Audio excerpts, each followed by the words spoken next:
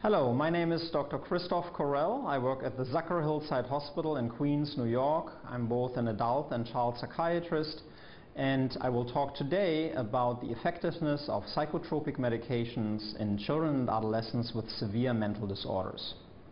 Let me start with showing you my disclosure information. My focus is on psychopharmacology as well as early recognition and prevention of children, adolescents, and young adults who are on their way to develop a psychotic disorder or a mood disorder. So I do have a relationship with several companies that make antipsychotics and mood stabilizers, but my research support has been entirely free of industry support. In addition, I hope that you will see that this is a fair and balanced CME rule um, compliant presentation. What am I going to cover today? I'm going to talk about the efficacy and tolerability, those two coins to effectiveness, of several major medication classes. These include psychostimulants, antidepressants, mood stabilizers, and antipsychotics. Following that, I will talk about the monitoring and management of side effects that are very frequently observed in the children and adolescents that we treat with these medications. Let's start with stimulants. Psychostimulants have a very strong effect size in terms of their efficacy both for hyperactivity and impulsivity as well as for inattention. The effect is seen rather early and clearly in many of our patients. The effect size is around 1.0, which is considered a large effect size. 0.8 and above is considered large. 0.5 and around that 0.3 to 0.7 is moderate and anything below 0.3 is considered a small effect size. And as you can see on the slide, both methylphenidate and amphetamine products have around an equal effect size and um, the effect size is similar for both inattention and hyperactivity. Any other medication group that has been studied, uh, like bupropion or antidepressants or atomoxetine, have a lower effect size. These medications are used quite frequently in many of our patients, but there has been the concern that psychostimulants reduce weight and may reduce also height, and the question is how long will that last for? So on this slide here you can see a meta-analysis of uh, 22 studies that have looked at long-term outcomes in terms of weight and height in patients treated with psychostimulants. So on this here, you can, this slide, you can see the growth velocity. On the left-hand side, you see the cumulative z-score deficit. z-score is adjusted for sex and age of the child. And on the right-hand side, you see the rate of change in height z-scores. And what you can observe here is that there is an attenuation of growth, particularly early on, but this attenuation actually gets smaller over time. So basically, there's almost a regression to the mean in those studies.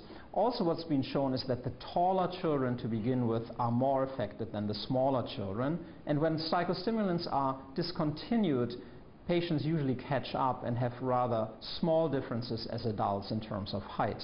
And uh, there is a question whether ADHD in itself is associated with shorter stature. What about weight? This is something that many parents are concerned about. They may actually stop the medication or uh, ask for holidays, uh, drug holidays, um, because the kids are uh, rather skinny. But what can be seen here too is that that weight reduction effect is also something that attenuates over time.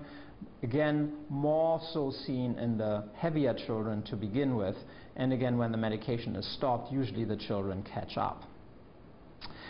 Another big concern that has been raised and uh, has been pursued is whether or not psychostimulants that increase noradrenaline could be cardiotoxic, whether there could be a cardiac um, sudden death event rate that's higher in those treated with psychostimulants.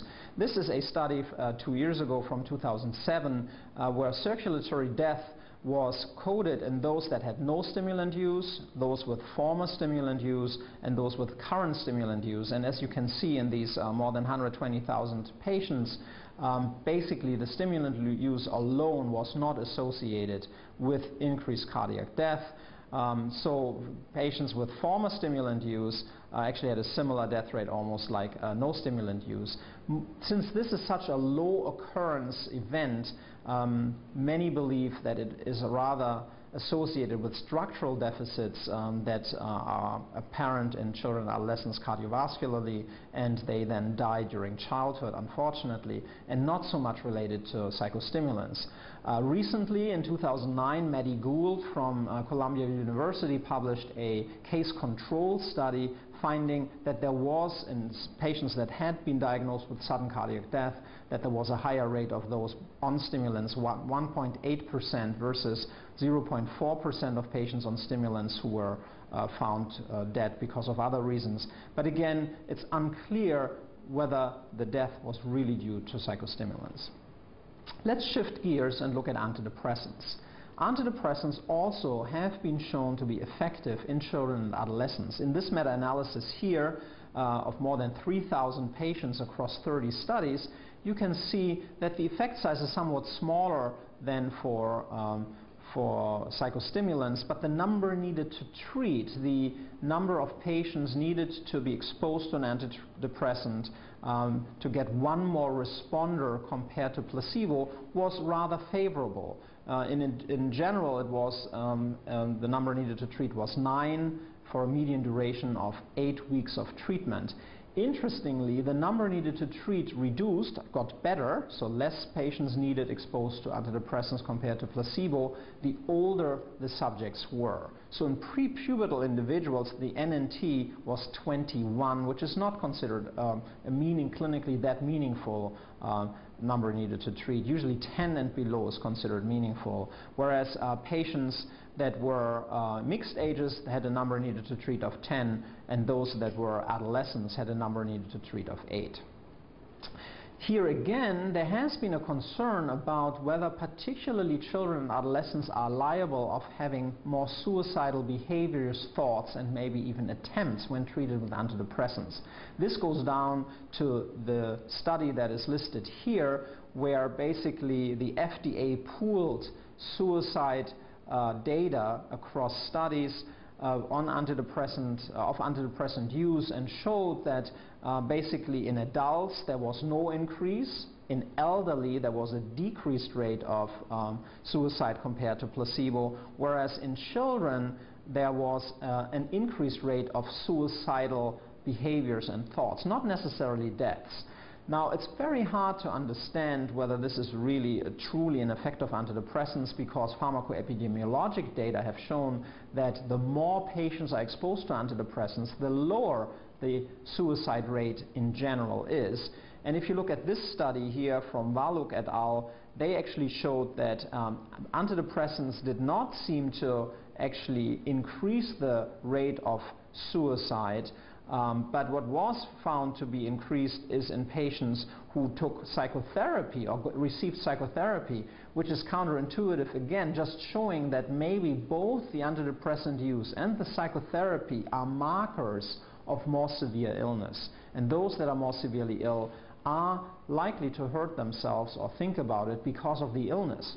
And if you look at the study by Simon here, um, this is pretty clearly indicated in the sense that most of the suicide attempts actually occurred just prior to the antidepressant use. So when antidepressants are given, you have patients who are um, at higher risk for suicidality.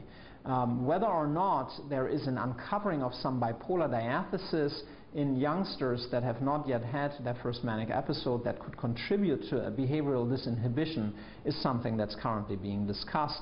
So clearly what we need to do is when we prescribe antidepressants, we need to monitor carefully um, every uh, week, whether it's, whether it's via telephone or um, visit, just to make sure that suicidality doesn't uh, occur, and also parents and patients need to be informed about uh, this risk. Um, since the black box warning, though, there has been a concerning increase in suicides, um, which corresponds, at least in an associative way, with a decrease in antidepressant use, particularly by primary care physicians and pediatricians. Let's move now to mood stabilizers. Uh, on this slide, you see basically the mean change in Young Mania Rating Scale scores across uh, several studies, four studies that are placebo-controlled. And different from the adult studies, in only one arm was there a statistically significant difference of, in this case, divalproex or valproic acid immediate release against placebo. In the large study of looking at divalproex, uh, valproic acid extended release uh, published by Karen Wagner, there was no effect against placebo. Question